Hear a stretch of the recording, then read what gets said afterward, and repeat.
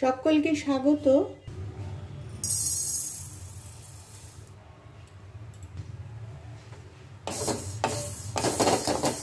Vegetable দিয়ে মুগের ডাল বানানোর জন্য আমি প্রথমে মুগের ডালটাকে একটু ভেজে নিচ্ছি, ড্রাই রোস্ট করে নিচ্ছি।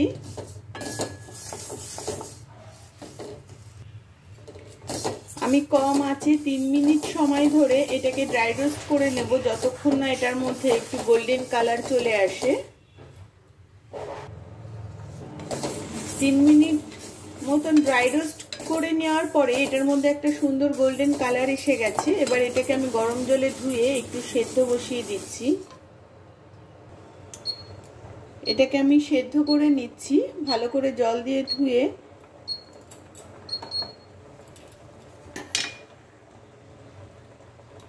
সেদ্ধ করার সময় এর মধ্যে অল্প একটু লবণ দিয়ে দিলাম। আমি কিছুটা সবজি একটু টুকরো করে কেটে গরম জলে ধুয়ে সেটাকে হলুদ দিয়ে ভিজিয়ে রেখেছিলাম। আর একটু কাজু আর কিশমিশও ভিজিয়ে রেখেছি গরম জলে। এরপর কড়াইতে একটু সর্ষের তেল গরম করে নিয়ে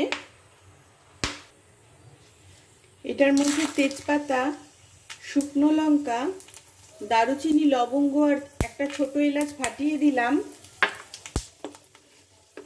আর একটু জিরে দিয়ে দিলাম।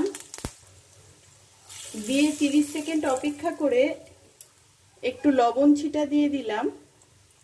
এর মধ্যে এবারে কাজু আর কিশমিশটা দিয়ে দিচ্ছি।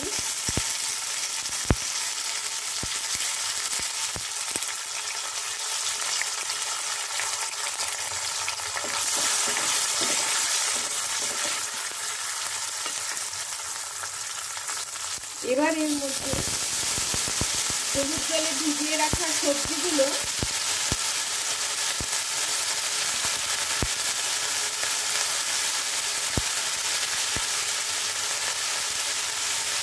দিয়ে দিলাম। এটার মধ্যে খুব সামান্য একটু লবণ দিয়ে এটাকে সুন্দর করে একটু ভেজে নিচ্ছি।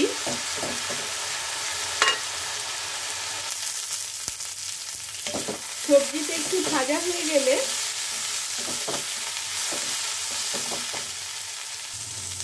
এর মধ্যে আমি একটু নারকেল কোড়া মিশিয়ে দিচ্ছি। নারকেল কোড়াটা একটু ফ্রাই করে নিয়ে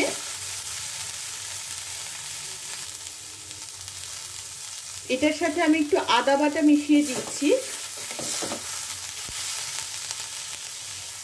আমি একটু টমেটো সেদ্ধ করে সেটাকে বেটে নিয়েছি। সেটা মিশিয়ে দিলাম।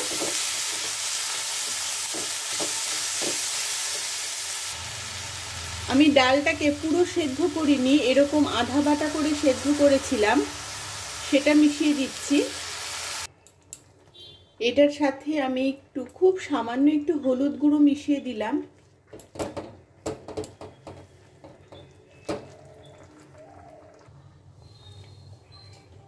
এবারে এটাকে আমি পাঁচ মিনিটের জন্য ফুটিয়ে নেব যাতে পুরো ডালটা সেদ্ধ হয়ে যায়। এটা যখন নাইনটি পার্সেন্ট কুক হয়ে গেছে, এর ওপর থেকে আমি একটু চিনি দিয়ে দিলাম। একটু ঘি দিয়ে দিলাম। এই ডালটা একটু মিষ্টি মিষ্টি ভালো লাগে, তাই জন্য একটু চিনি দিয়েছি। আমি ব্রাউন করে ভাজিনি, খুব হালকা করে ভেজে একটু পনিরের টুকরো দিয়ে দিচ্ছি।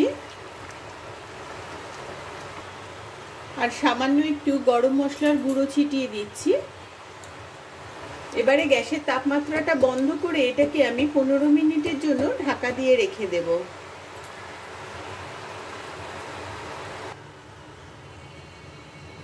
একদম রেডি হয়ে গেল ভেজিটেবিল ডাল। আমি একটু ধনে পাতা কুচি ছিটিয়ে দিলাম। সকলে খুব ভালো থেকো। Take care and tata